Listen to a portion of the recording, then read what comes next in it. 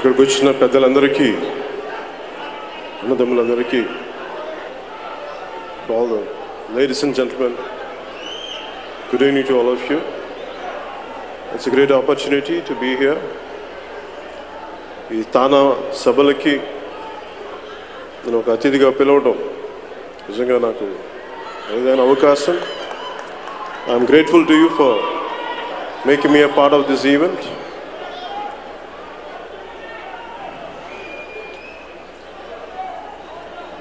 నాకు ఇలాంటి ఈవెంట్లో ఫస్ట్ టైం ఇక్కడికి వచ్చి ఈవెంట్లో అడ్రస్ చేయడానికి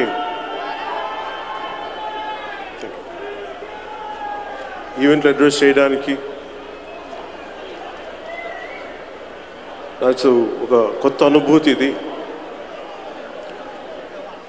ముఖ్యంగా యుఎస్కి సంబంధించి చాలా క్రూషియల్ టైంలో ఉన్నాను నేను. ఇక్కడ two thousand nine nine eleven అప్పుడు నైన్ లెవెన్ జరుగుతున్నప్పుడు నేను ఒక లాస్ ఏంజలస్లో ఉన్నాను సో నాకు మార్పులు జరిగినప్పుడు ఇక్కడ ప్రత్యేకమైన పరిస్థితుల్లో నేను న్యూయార్క్లో కూడా ఉన్నాను ఆ రోజున. ఆ రోజు నాకు లాస్ ఏంజలస్లో ఉన్నప్పుడు తెలుగు కమ్యూనిటీ ముఖ్యంగా నాకు చాలామంది స్నేహితులు ఉన్నారు. వాళ్ళందరికీ నాకు ఆతిథ్యం ఇచ్చి నన్ను హక్కును చేర్చుకొని అలాంటి నా అందరు ప్రతి ఒక్కరికి పేరు పేరున నేను ధన్యవాదాలు తెలుపుకుంటున్నాను. నాకు నిజంగా మీకు ఈరోజు చెప్పడానికి for me it's not a political speech లేదంటే ఒక సినిమా స్పీచ్ కాదు.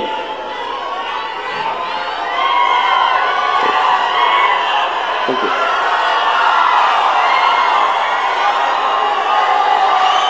thank you thank you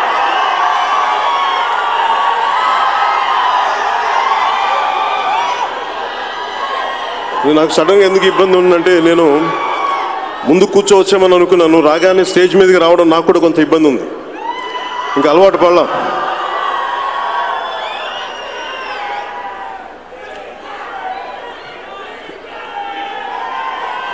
thank you నాకు మన యూత్ ఉన్నారు ఇక్కడ.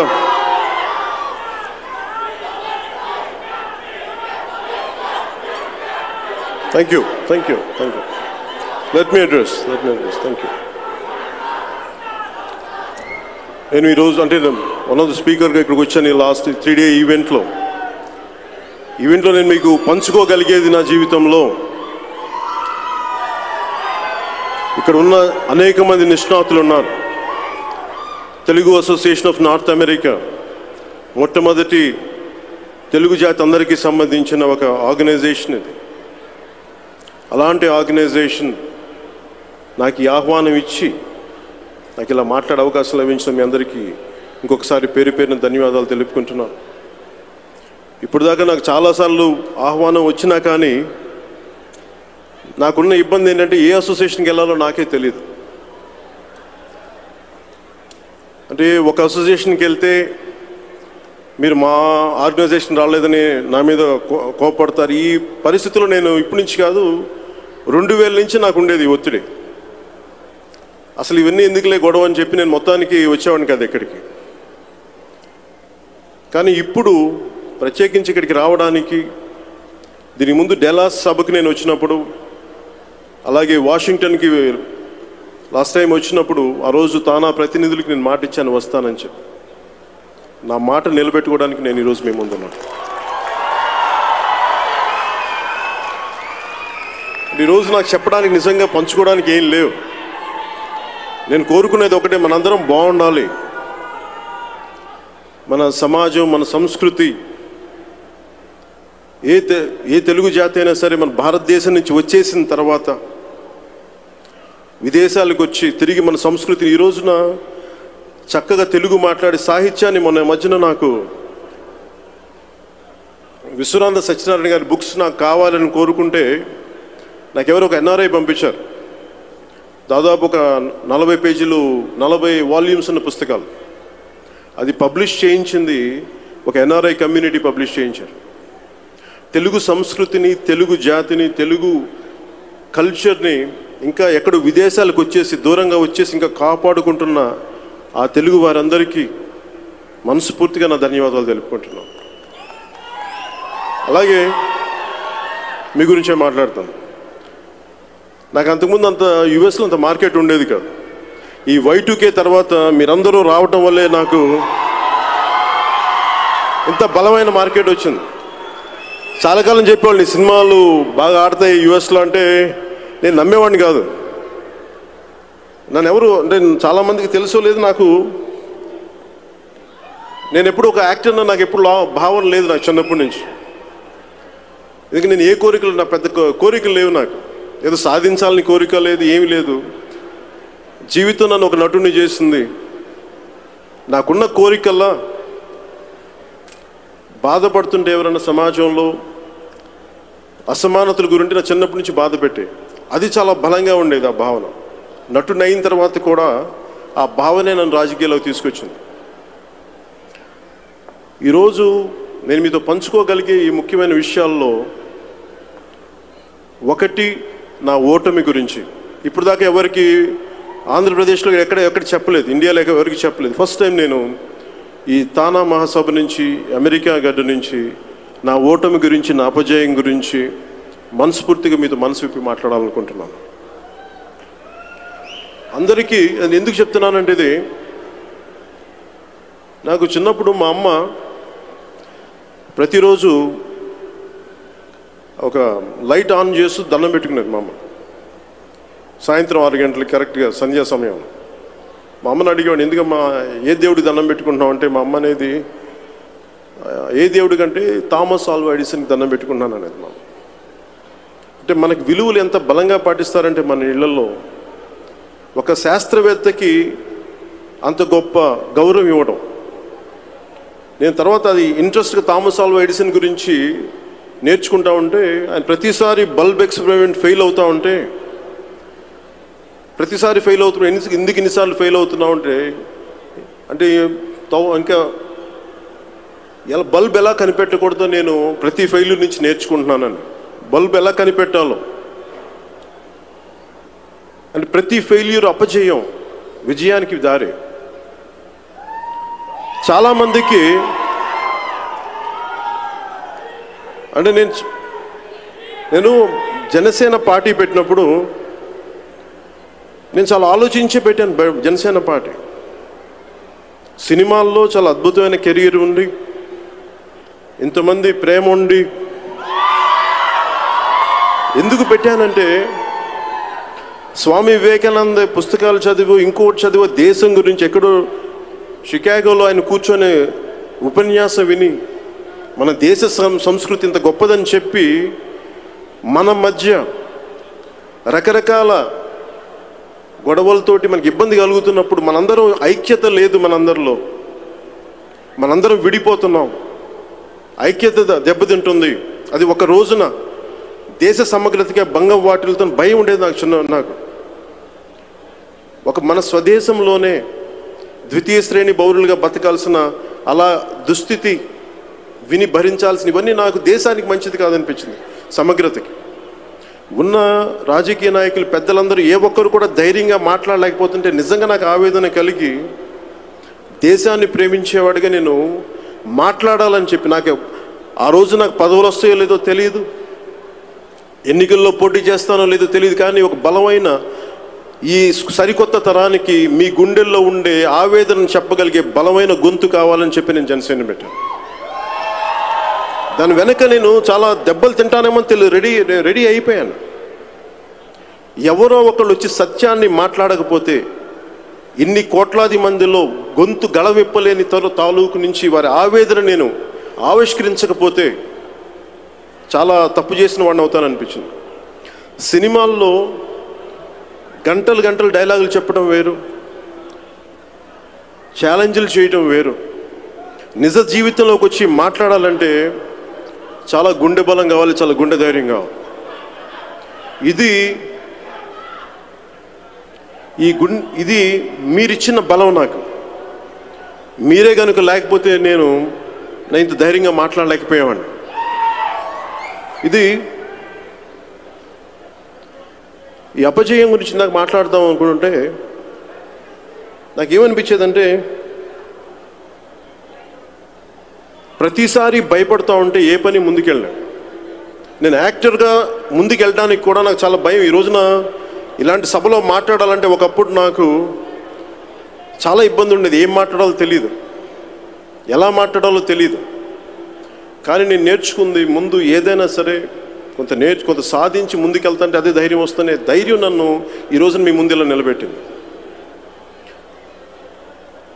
నాకు జనసేన పోటీ రిజల్ట్స్ వచ్చిన తర్వాత అపజయం నుంచి కోలుకొని సమయం నాకు తీసుకుంది నాకు జస్ట్ పదిహేను నిమిషాలే పట్టింది నాకు కోలుకోవడానికి అంతే. సంపూర్ణంగా ఓడిపోయాని. తిరిగి వచ్చి దాన్ని అర్థం చేసుకొని బయటికి రావడానికి నేను ఎక్కువ సమయం తీసుకోలేదు. జస్ట్ పదిహేను నిమిషాలు అంతే. పదిహేను నిమిషాలు నేను యాక్సెప్ట్ చేశాను నా అపజయాన్ని. ఎందుకు యాక్సెప్ట్ చేశానంటే ఇది చిన్నప్పుడు నేను ఫెయిల్ అవుతానే వచ్చాను. నాకు ఫెయిల్యూర్ అనేది నాకు గొప్ప పాఠాలే నేర్పింది. సక్సెస్ నాకు ఎంత పాఠం నేర్పిందో నాకు తెలియదు కానీ నా ప్రతి ఓటమి నన్ను విజయానికి దగ్గర చేసింది.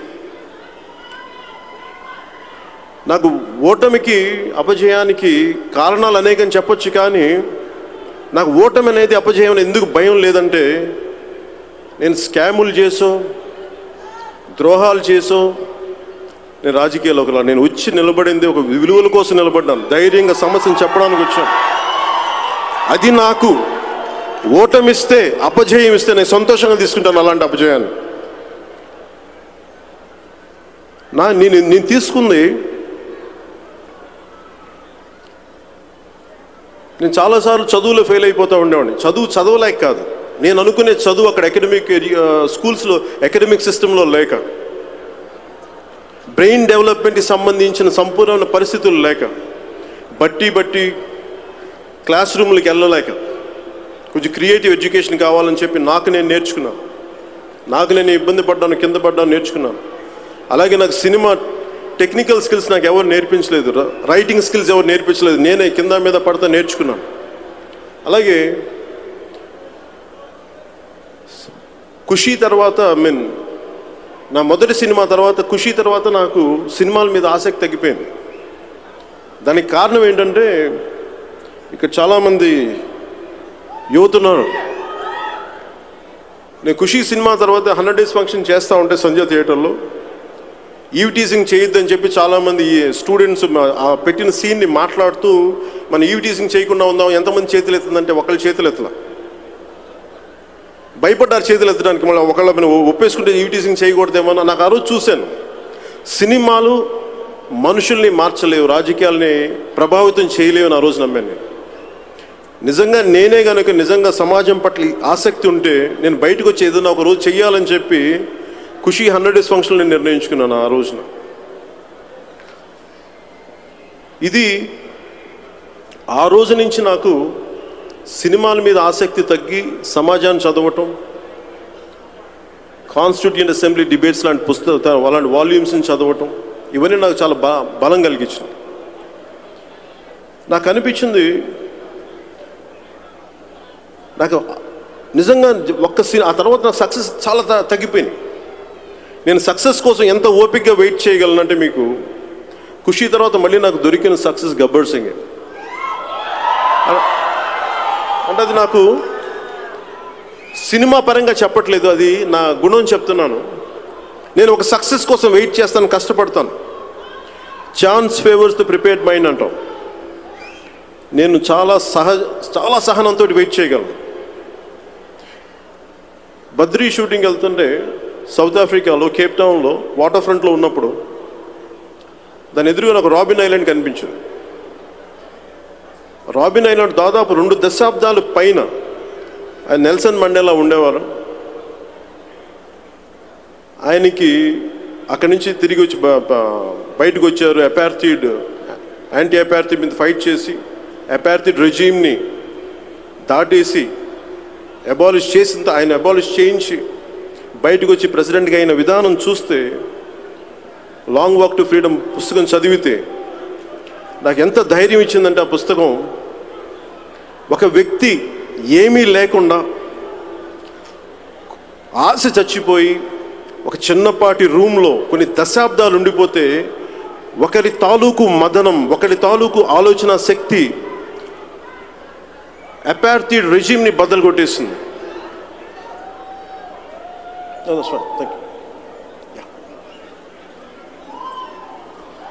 అలాగే నేనేం నమ్ముతానంటే నాకు నెల్సన్ మండల లాంటి కష్టాలు లేవు నాకు.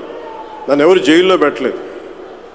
కానీ ఓటమిని తట్టుకునే శక్తి బలంగా ఆయన దగ్గర నుంచి నేర్చుకున్నాను నా కోరిక ఏంటంటే మనకి మన సమాజం నాకు నిజంగా ఎంత ఇబ్బంది అనిపించిందంటే తానా సభకి రావాలి అంటే నన్ను ఇన్ని రకాలుగా రావద్దని రాకూడదని వస్తే బాగుంటుందని ఇన్ని రకాలు నాకు నిజంగా చాలా బాధ కలిగించింది చాలా ఆవేదన కలిగించింది. మనందరం ఒకటి కాదా? మనందరం తెలుగు వాళ్ళం కాదా? మనందరం భారతీయులం కాదా? కులాలుగా విడిపోవాలా? మతాలుగా విడిపోవాలా? ప్రాంతీయ విద్వేషణలు ఉండాలా? ఇదే మన సంస్కృతి నేర్పింది. మహాత్మా గాంధీకి దండం పెట్టేమో ఇక్కడ కూర్చోబెట్టి నా కులం నా మతం అంటే ఏం చేస్తాం దానికి? నిజంగా ఆవేదన కలిగింది నాకు. అంటే మనకి ఎన్ని ఎన్ని ఆర్గనైజేషన్స్ ఉన్నప్పటికీ మనందరం ఎందుకు కలిసికట్టుగా ఉండాలంటే ఒక్కొక్కసారి అవసరాలు వచ్చినప్పుడు బయటోటి చేయడు. మనమే చేసుకోవాలి. బయట వాళ్ళు ఎవరు వచ్చి మనకు సహాయం చేయరు. మనమే కూర్చొని మన సమాజాన్ని మనమే బాగు చేసుకోవాలి. నేను ఎప్పుడు కూడా అందరినీ ఇన్క్లూజివ్ వ్యక్తినే తప్ప నేను కూర్చోబెట్టి నాకు తెలియదు. నిజంగా నా కులం మతం నాకు తెలియదు. నాకు కనిపించిన దేవుడు మా ఇంట్లో చేసిన ప్రార్థనలు తెలుసు తప్ప నాకు నిజంగా నా కులాలు అనేవి తెలియదు నాకు. అలాగే ప్రాంతీయ విద్వేషణలు తెలియదు నాకు. చాలా సింపుల్ చిన్న జీవితం మాది. అలాంటి జీవితం నుంచి పెరిగి పెరిగి పెద్ద అయ్యే కొద్దీ గొప్పగా ఉంటుంది సమాజం అని చూస్తే ఇంత విద్వేషణలు ఉంటాయా? ఇంత విడిపోతారా మనుషులు అంటే నాకు నిజంగా ఆవేదన కలిగించింది. అందరూ కులాలను విడదీస్తారు అందరినీ మ- మనుషుల్ని విడదీస్తారు కానీ నేను మనుషుల్ని కలపడానికి వచ్చాను. నేను మనందరం కలిసి ఉండాలని గాఢంగా కోరుకొని వచ్చాను. అది నాకు అపజయమే కలిగిస్తే నేను అపజయాన్నే ఆస్వాదిస్తున్న అపజయాన్ని నేను స్వీకరిస్తాను కానీ మనుషుల్ని విడగొట్టయితే నేను రాజకీయం చేయలేను. మనుషుల్ని కలిపే రాజకీయం చేస్తాను. కష్టంగా ఉండొచ్చు. ఇబ్బంది ఉండొచ్చు. ఇలా చేస్తే నువ్వేం రాజకీయవేత్త ఉంటారు నేను రాజకీయవేత్తను కాదు నేను మనిషిని. మనిషి మనసు నమ్మేవాడిని మానవత్వాన్ని నమ్మేవాడిని. రాజకీయ లబ్ధి కోసం మనుషుల్ని విడగొట్టి విడగొట్టి మనందరం విడివిడిగా వెళ్ళిపోతుంటే సమాజం ఎంత విచ్ఛిన్నం అయిపోద్దో మనం ఊహించుకోలేం. ఇప్పుడు సెకండ్ వరల్డ్ వార్లో ఒక ఒక చిన్న ఎక్కడ ఒక రైటర్ దగ్గర చదివాను. దాంట్లో ఒక కాలనీలో ఉన్న ఒక వ్యక్తి చెప్తా ఉంటాడు. సోషలిస్ట్ అని పోలీసులు అరెస్ట్ చేస్తే సోషలిస్ట్ అని నేనేం మాట్లాడలేదు. తర్వాత వచ్చి కమ్యూనిస్ట్ అంటే కమ్యూనిస్ట్ అని చెప్తే నేనేం మాట్లాడలేదు. అలాగే ఇంకోటి కూర్చోబెట్టి ఇంకొక మతం అని ఇంకొక ఫాదర్ అని చెప్పేసి ఒక రెవరెండ్ అని చెప్పి వదిలేసాం తర్వాత నెక్స్ట్ డే ఒక జ్యూవిష్ అని చెప్పి అరెస్ట్ చేస్తే అప్పుడు వదిలేసి నేను మాట్లాడలేదు. నన్ను అరెస్ట్ చేయడానికి వస్తే నా తరపున మాట్లాడడానికి ఒక్కళ్ళు లేరని చెప్పి.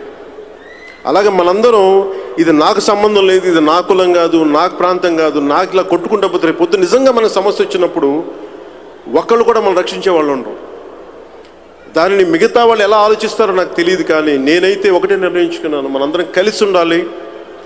భారతదేశం కోసం భారతదేశ సమగ్రత కోసం మనదైన తెలుగు సంస్కృతి జాతి మనం కలయకపోతే దేశం విచ్ఛిన్న కారణమవుతాం. నేను భారతదేశాన్ని ప్రేమించేవాడిగా ఆ తప్పు నేను చేయలేను అందరిలాగే. అందుకే నేను మీకు హామీ ఇస్తున్నాను ఈ అపజయం నన్ను మరింత బల బలోపేతం చేసింది మరింత మీకు అండగా నిలబెట్టడానికి ఇక్కడ ఉంచేలా చేసింది. అంటే చాలామంది చాలామంది ఎందుకు ఎందుకు మనం అందరం పొలిటికల్ వ్యవస్థ ఎంత శాసిస్తుందంటే మన జీవితాలని మొన్న మధ్యన మాకు కాన్సులేట్ జనరల్ ఆఫ్ అమెరికా నుంచి కాన్సుల్ జనరల్ వచ్చి నేను వారికి ఆతిథ్యం ఇచ్చాను నేను విజయవాడలో. ఇస్తే వాళ్ళ గురించి మాట్లాడింది విద్యార్థుల్ని ఇక్కడ పోలీస్ ఇక్కడ మనకి అరెస్ట్ చేసినప్పుడు వాళ్ళకి నేను వాళ్ళ దృష్టికి తీసుకెళ్ళాం. మీరు ఇలా అరెస్ట్ చేసేస్తున్నారు మాకు తెలియదు అక్కడ ఏ ఇన్స్టిట్యూషన్స్ ఏవో కొన్ని ఇబ్బందులు ఉన్నాయంటే లేదు మేము సానుకూలంగా పరిష్కరిస్తాం సానుకూలంగా మాట్లాడతాం అని చెప్పింది. ఇది ఆ వ్యక్తులు నా కులమో నా మతమో నా ప్రాంతం నాకు తెలియదు ఇది మనవాళ్ళు నా తోటి భారతదేశ భారతదేశీయులు. మీ కష్టం నా కష్టం అది. మేము మాట్లాడతాం బలంగా. దానివల్ల ఓట్లు పడచ్చు ఓట్లు పడకపోవచ్చు ప్రభుత్వాలు రాకపోవచ్చు నేను కూడా సంపూర్ణంగా ఓడిపోవచ్చు. కానీ నాకు ఇబ్బంది లేదు. విలువల్ని నిలబెట్టినంత కాలం నేను చాలా గర్వంగా తలెత్తుకొని తిరుగుతాను గర్వంగా నుంచునే మాట్లాడతాను అంతేగాని ఇబ్బంది పడే వెనక్కి వెళ్ళను. చాలామంది పొద్దున్నుంచి మాట్లాడుతున్నప్పుడు ఎలక్షన్ ప్రాసెస్ డిఫికల్ట్ చాలా కష్టమైపోయింది. విలువలు తీసుకొద్దామని చెప్పి డబ్బులు లేకుండా రాజకీయాలు చేద్దామంటే చాలా కష్టమని తెలుసు నాకు. నన్ను కూడా ఓడగొట్టేస్తారా అని నాకు తెలియదా ఖచ్చితంగా తెలుసు. పార్టీ పెట్టబోయే ముందు అన్నీ ఆలోచించాను ఒకవేళ నేను కూడా ఓడిపోతే అబ్బాసు పాలవుతామా నవ్వుతారా అంటే నాకు అనిపించింది దేనికి తప్పు చేద్దాం? ఒక అల్ థామస్ ఆల్వా ఎడిసన్ తీసుకున్నాం how not invent every failure ఇలా కాకపోతే ఇంకోలా ఇంకోలా కాదు కానీ గెలిచి తీరాలి. ఇలాంటి విచ్ఛిన్నమవుతున్న సమాజంలో మనుషులు మనలాంటి వాళ్ళందరూ కలిసికట్టుగా ఒక తాటిని పైన రాకపోతే పరిస్థితులు వేరేలాగా ఉంటాయి. అలాంటి జరగకుండా ఉండాలి అంటే ముందు నా వంతు కృషిగా నేను బయటకు వచ్చాను. నేను సినిమాలో డైలాగులు మాట్లాడను. నేను వచ్చింది నిజ జీవితంలో మాట్లాడడానికి వచ్చాను మీకు అండగా ఉండడానికి వచ్చాను. మనందరం కలిపి కట్టుగా ఒక దిశలో ప్రయాణం చేయాలి. మనందరం ఒకటే ఆలోచనలో ఉండాలి. దీనికి తర్వాత ఈ సభ తర్వాత నా మీద ఎన్ని కామెంట్స్ అన్నా చేయనివ్వండి నాకేం ఇబ్బంది లేదు. ఎందుకంటే జైళ్ళకి వెళ్ళి కూర్చొని ఇబ్బంది లేని పరిస్థితులు వ్యక్తులు ఉన్నప్పుడు నాకేముంటుంది ఇబ్బంది? ఒక సత్యాన్ని మాట్లాడి ఇక్కడ నుంచొని తిరిగి వెళ్ళడానికి నాకేముంటుంది ఇబ్బంది?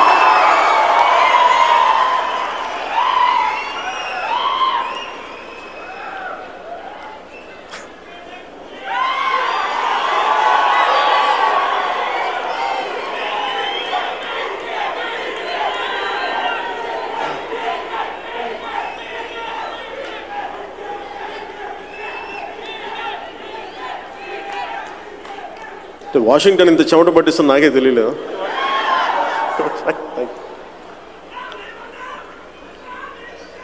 thank you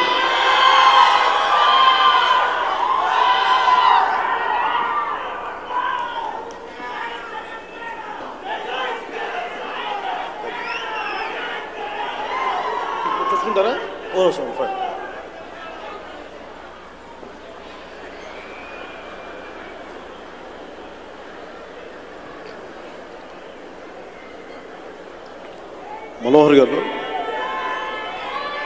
Why don't you have a few words? Please, please do come, sir.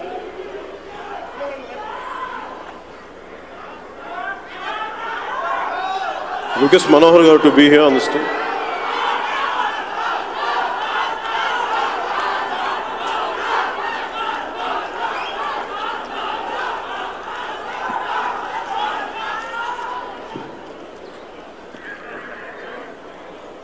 నా కోరిక ఒకటే ఏ పార్టీ అయినా కానీ అది కుల సంఘాలుగా అవ్వకూడదనే నా విన్నపం నా విజ్ఞాపం. అంటే మనందరం విడిపోతే దేశం నష్టపోదు. సమాజం విచ్ఛిన్నమైపోతుంది అందుకే నా రిక్వెస్ట్ సమస్యలు ఏమున్నప్పటికీ చాలా విభేదాలు ఉండొచ్చు మనస్పర్ధలు ఉండొచ్చు. ఒక ఇంట్లో ఒక అన్నదమ్ములకి గొడవలు ఉంటాయి. మన మధ్య చాలా ఇబ్బందులు ఉండొచ్చేమో కానీ మనందరం కలిసికట్టుగా సమాజం కోసం ఒక దిశలో ఆలోచించకపోతే అందరం సంపూర్ణంగా నష్టపోవాల్సి వస్తుంది. నాకు పరిస్థితి ఎట్లా ఉందంటే ఇది పొలిటికల్ స్పీచ్ కాదు. నాకు అంతకుమించి ఇక్కడున్న పెద్దలందరికీ ఏదైనా చెప్తా ఉంటే నా అనుభవం సరిపోదు. మీరు మీలో గొప్ప డాక్టర్స్ ఉన్నారు ఇంజనీర్స్ ఉన్నారు చాలా గొప్ప బిజినెస్ మెన్ ఉన్నారు ఎంటర్ప్రెన్యూర్స్ ఉన్నారు బాగా చదువుకున్న వ్యక్తులు ఉన్నారు. నాకు మీకు చెప్పేంత అనుభవం కానీ లేదంటే మీ స్థాయికి ఉన్నంత జ్ఞానం నా దగ్గర లేదు. మీ దగ్గర నేర్చుకుందామని వచ్చాను తప్ప నేను యాక్చువల్ మాట్లాడడానికి లేదు.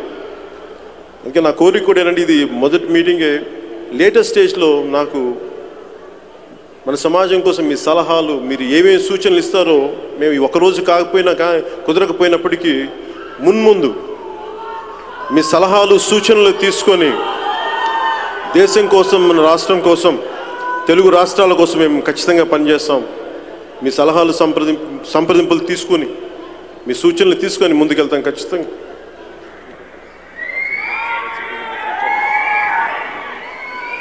అలాగే అమెరికా లాంటి ఇంత విశాలమైన దేశాన్ని వెళ్ళాలంటే ఒక వాషింగ్టన్ సరిపోదు.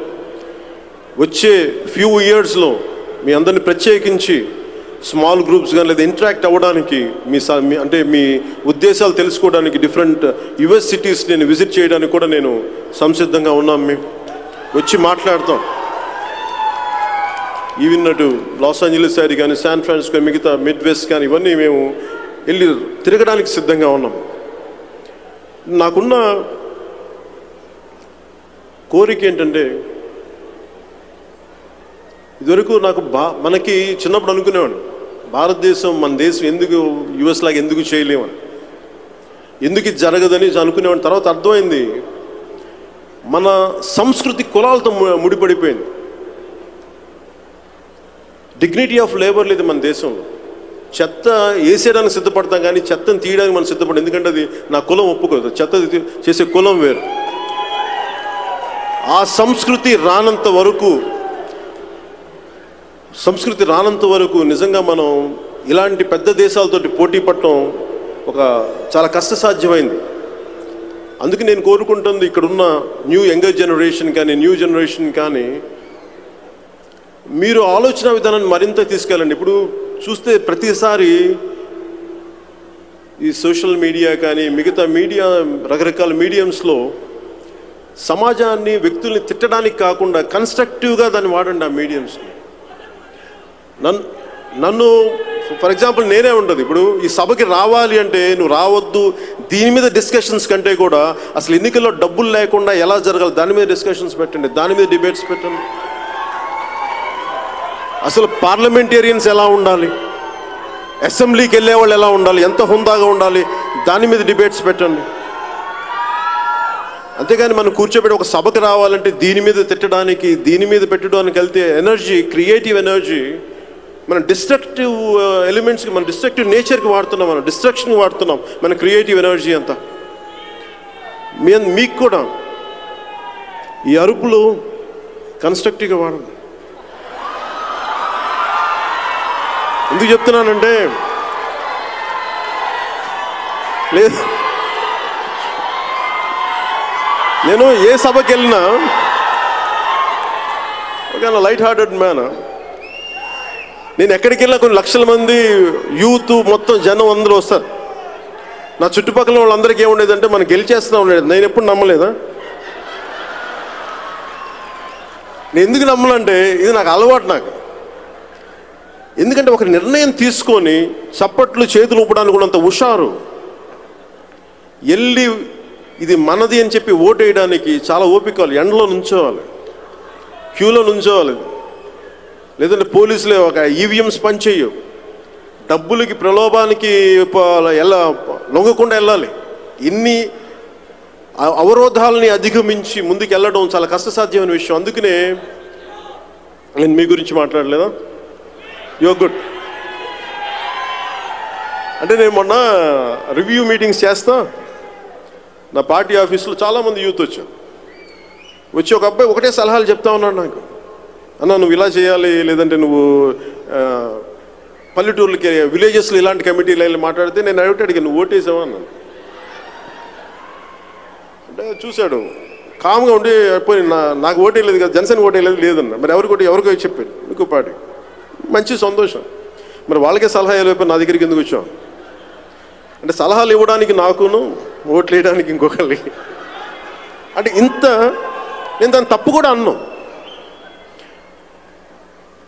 తప్పు కూడా కాదు అది. ఎందుకంటే నేను మిమ్మల్ని ఎప్పుడు ప్రభావితం చేయడానికి ఇష్టపడతాను. నేను ప్రభావితం చేయడానికి సమాజం బాగుండాలి ప్రభావితం తప్ప నాకు నిజంగా రాజకీయాల్లో కొత్తగా పేరు అవసరం లేదు నాకు. నేను సినిమాలో ఉంటే రోజు నన్ను తిట్టకుండా ఉంటాను అందరు. ఎంతసేపు నన్ను మెచ్చుకునే వాళ్ళు తప్ప తిట్టేవాళ్ళు తక్కువ మంది సినిమా బాగాలేపు తిడతారు అంతే మ్యాక్సిమం ఇలా రోజు తిట్టడానికి నాకు అవసరం లేవు. కానీ ఎందుకంటే నేను చిన్నప్పుడు టెన్త్ క్లాస్లో ఉన్నప్పుడు నా స్నేహితుడిని తెలంగాణకి వెళ్తే హైదరాబాద్కి వెళ్తే నా తెలంగాణ అంటే చాలా ఇష్టం. నేను నిజంగా ఆంధ్ర విడిపోయినా నాకు అందుకు కాదు. నేను ఎటెలాలో తెలియలేదు. అది నా బాధ నా తెలంగాణ విడిపోయినా డెక్కన్ ప్లాటు దక్కన్ పీఠభూమి అంటే గుండు కోసేసుకుని నాకు అంత ఇష్టం దక్కన్ పీఠభూమి. సో ఆ టైంలో నా స్నేహితుడు టెన్త్ క్లాస్ చదువుతున్నప్పుడు తను పంపించేస్తే అక్కడ తిట్టి పంపించేశారు నువ్వు నువ్వు ఇక్కడ ఓడి కాదు ఆంధ్రవాడి అంటే నాకు ఆ చిన్న వయసు నాకు అర్థం కాల. మన అందరం ఒకటే అనుకుంటాం కదా, వీళ్ళు తిట్టి పంపించేస్తారంటే నేను అనుకున్న ఆ రోజు నుంచి నేను ప్రత్యేకంగా తెలంగాణ మీద దృష్టి సారించాను. అది పెరిగి పెద్ద అవుతా పెద్ద అవుతా ఒక స్థాయికి వచ్చేటప్పటికి ఒకటే భాష మాట్లాడే రెండు సమూహం ఒక జాతి విడిపోవాల్సి వచ్చింది. రాజకీయ నాయకులు రాజకీయ వ్యవస్థ చేసిన తప్పుకి ప్రజలందరూ బాధపడాల్సిన రోజు వచ్చింది. చిన్న గోటితో పోయేదాన్ని గొడ్డల దాకా తీసుకొచ్చారు. ఆ బాధ ఉండిపోయింది. అలాగే ఒక సమస్య అయిపోయింది. అలాగే భావితరాల కోసం బలంగా నాలాంటి వాళ్ళు ఒకళ్ళు వచ్చి మాట్లాడకపోతే నేను కూడా అందరిలాగే కూర్చొని సోఫాలో కూర్చొని డ్రాయింగ్ రూమ్లో కూర్చొని వీళ్ళు ఎందుకు ఇలా టీవీలు చూస్తూ సోషల్ మీడియాలో పోస్టులు పెడుతూ అలా కూడా బతికేయచ్చు చచ్చిపోవచ్చు. కానీ నేను బయటకు వచ్చి పోరాటం చేయడానికి నిర్ణయించుకున్నాను. కష్టం అవ్వచ్చు ఓడిపోవచ్చు దెబ్బ తినచ్చు నలిగిపోవచ్చు. బయటికి వచ్చి నాకు అంటే నేను ఎందుకు చెప్తున్నానంటే ఈ మాట? తానాలే ఎందుకు తీసుకున్నానంటే మొట్టమొదటి Telugu association of North America అది. మీరు ప్రభావితం చేయగలని నేను నమ్ముతున్నాను. కష్టంగా ఉంటుంది అందరికీ. మీరు మీరు కనుక పెద్ద మనసుతోటి అంటే మీరు కాంట్రిబ్యూషన్ అందరు నన్ను అడుగుతారు మీకు ఎంత డబ్బులు ఇవ్వాలంటే నా డబ్బులు వద్దు నాకు. నేను డబ్బుల కోసం అయితే నేను రాజకీయాల్లో రాలా. అందరూ మీరు మనసు ఇవ్వండి మంచి సమాజం కావాలని కోరుకోండి అలా దానికోసం నేను వచ్చాను తప్ప రాజకీయాల్లోకి నాకు డబ్బులు ఎవరు ఇవ్వగలరు? నేను చూడని జీవితం లేదు. లేదంటే ఇది నా సంపాదనతో నేను ఏదైనా చేయగలను. ఈ రోజుకి నేను సినిమా చేస్తే నాకు బోల్డ్ డబ్బు ఉంది. నాకు అది డబ్బుకి నాకు ఇబ్బంది లేదు నాకు. కానీ సమాజం విచ్ఛిన్నం అయిపోతే నాకు చాలా బాధ ఉంది. నా బిడ్డలు తరానికి విచ్ఛిన్నం అయిపోయిన సమాజంలో నా బిడ్డలు పెరగడం నాకు ఇష్టం లేదు. నా బిడ్డలు అందరి బిడ్డలతో సహా. ఒక త- నేనేం చేయగలను చెప్పి వచ్చాను తప్ప రాజకీయాల్లోకి నాకేదో తీసుకెళ్దాం నాకు రాజకీయాల్లోకి రాలేదు. మాకు అవసరం లేదు. మనోహర్ గారికి కానీ మాకు కానీ ఎవరికి అవసరాలు లేవు మాకు దీంట్లో. ఈ రోజున మేము మా ఓటమి విలువలతో పోరాటం చేసాం ఓడిపోయాం. దానికి మాకు చాలా గర్వంగా ఉంది. ఈ ఓటమి మాకు చాలా బలాన్ని ఇచ్చింది. ఎన్ని కష్టాలైనా సరే ఆంధ్రప్రదేశ్కి కానీ తెలంగాణకు కానీ తెలుగు జాతికి కానీ భారతదేశానికి మేము చాలా బలంగా నిలబడతాం. అలాగే మాకు ఉన్న సమస్యలు కూడా చాలా కష్టమైన సమస్యలు. అన్లెస్ మీరందరూ కలిసి ఒక ఉమ్మడిగా ఒక ఆలోచనని ఒక ప్రణాళికని మీరు ముందుకు తీసుకెళ్ళిపోతే మాలో తప్పప్పులు ఉంటే మీరు స- మీరు సరిదిద్దండి వాటిని. అలాగే మీ సలహాలు సూచనలు ఏదైనా మన దేశానికి సంబంధించి అలాగే ప- అభివృద్ధి అనేది కోరుకోవాలి మనం. ఇక్కడ రాకూడదు ఎవరు పెట్టుబడులు రాకూడదని తరహాలో ఎవరైనా మనం ఆలోచిస్తే భారతదేశం ఎలా అభివృద్ధి జరుగుద్ది ఆంధ్రప్రదేశ్ ఎలా అభివృద్ధి జరుగుద్ది తెలంగాణ ఎలా అభివృద్ధి జరుగుద్ది. మనం నియంత్రణలాగా ఉంటే అలా పాలకులు? పాలకులు పాలకుల్లాగా ఉండాలి. ఎందుకంటే నేను చాలాసార్లు నేనేం నమ్ముతాను మన దేశం నాయకుడిని ప్రేమిస్తే నాయకుడిని చూసి భయపడే దేశం కాదు. నాయకుని ప్రేమించే దేశం. భయపడే ఎవ్వరికి భయపడరు దేశం. నాయకుల్ని చూస్తే ప్రేమించాలి కానీ భయపడుతున్నారంటే ఏదో ఒక రోజున వాళ్ళు పత్రాన్ని తీసుకొచ్చేస్తారు జనం. అది నాయకులు కూడా చాలా గుర్తుపెట్టుకోవాలి. భయపెట్టి పాలిస్తామంటే భయపడడానికి ఇది మామూలు దేశం కాదు భారతదేశం. అది అందరూ గుర్తుపెట్టుకోవాలి నాయకులందరూ. చాలా బలమైన దేశం. భారతదేశాన్ని ఎవరు కబంధ హస్తాల్లో పెట్టలేరు. అది ఆంధ్రప్రదేశ్ కావచ్చు తెలంగాణ కావచ్చు సంపూర్ణ భారతదేశం కావచ్చు ఏదైనా కావచ్చు. మనం ప్రేమిస్తే నాయకుడిని గాంధీ గారిని గుండెలో పెట్టుకున్నట్టుగా పెట్టుకుంటాం నాయకుడిని అవసరం లేదని తీసి పక్కన కూడా పెడతాం. అంత శక్తి ఉంది. మీరు నా విన్నపం నా మెసేజ్ కూడా ఏంటంటే డబ్బులిచ్చి ఓట్లు మనం అమ్మేసుకునే పరిస్థితులు ఉన్నాయి. దానివల్ల మనం పో కోల్పోతుంది ఏంటి అక్కడంటే మన మన మోరల్ స్ట్రెంగ్త్ పోతున్నాం. మన నైతిక బలం పోతుంది. డబ్బులు ఇచ్చి కొనుక్కున్న వెంటనే నాయకులకి అసలు వ్యక్తులు ప్రజల మీద గౌరవం లేదు. అసలు వీడు డబ్బులు ఇచ్చాం వీడు ఓట్లు ఇచ్చే కొనేస్తాం వీళ్ళని పట్టించుకోవాల్సిన అవసరం లేదు. అని ఎవరి పద్ధతిలో వాళ్ళు ఉంటారు. రాను రాను నాకు భయం కూడా ఏంటంటే ఇలాంటి పరిస్థితులు మున్ముందు రాబోతూ ఉన్నాయి. అలాంటి సమాజం రాకుండా ఉండాలంటే మీ అనుభవం మీరు మీ ఊళ్ళల్లో మీకు మీ విలేజెస్లో కానీ మీ స్వస్థ స్వగ్రామాల్లో కానీ మీ స్వస్థలాల్లో కానీ ఈ మెసేజ్ని మీరు బలంగా పదే పదే తీసుకెళ్ళకపోతే నాకు నిజంగా భయం వేస్తూ ఉంటుంది. ఫ్యూచర్ ఎలా ఉంటుంది భారతదేశం అనేది. అందుకని మీ అందరూ మేము కోరుకుంటుంది మేము నిలబడి ఉన్నాం. దెబ్బ తిని కూడా ఈ రోజున మీ ముందు వచ్చి నిలబడి ఉన్నాం. దానికి ఎందుకంటే మాకు దేశం మీద ఉన్న ప్రేమ మన సమాజం మీద ఉన్న ప్రేమ. మీ అందరూ ఆశీస్సులు కావాలి అని కోరుకుంటున్నాం.